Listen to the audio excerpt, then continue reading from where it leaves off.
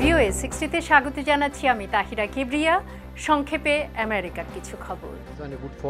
President Joe Biden সোমবার German chancellor Olaf শয়েসকে White House বৈঠকে আমন্ত্রণ জানিয়েছেন। ওই বৈঠকে ইউক্রেনে রাশিয়ার সম্ভাব্য আগ্রাসন প্রতিরোধের প্রচেষ্টার দিকগুলো প্রাধান্য পাবে বলেই মনে করা হচ্ছে। বাইডেন রবিবার সাংবাদিকদের বলেন রাশিয়ার প্রেসিডেন্ট ভ্লাদিমির পুতিন সংকট সমাধানে চলমান কূটনৈতিক প্রচেষ্টা থেকে এমন কিছু খুঁজছেন যা তিনি পাবেন না। আমেরিকার সেনা বহনকারী দুটি ফ্লাইট সোমবার পোল্যান্ডে পৌঁছেছে এবং আশা করা হচ্ছে আগামী দিনগুলোতে আরও সেনা প্রেরণ করা হবে। প্রেসিডেন্ট বাইডেন বুধবার পোল্যান্ড এবং রুমেনিয়ায় প্রায় তিন হাজার অতিরিক্ত সেনা মোতায়েনের নির্দেশ দিয়েছেন। যুক্তরাষ্ট্রের কোস্টগার্ড এবং একজন সাহায্যকারী রবিবার ওহায়োর কাতাওয়াবা দ্বীপ থেকে বিচ্ছিন্ন হয়ে যাওয়া একটি বরফখণ্ডের উপরে আটকে পড়া আঠারো জনকে লেক ইরি থেকে উদ্ধার করেছে। তারা বরফ জমা লেকটিতে স্নোমোবিলস এবং দু চাকার গাড়ি চালাচ্ছিল।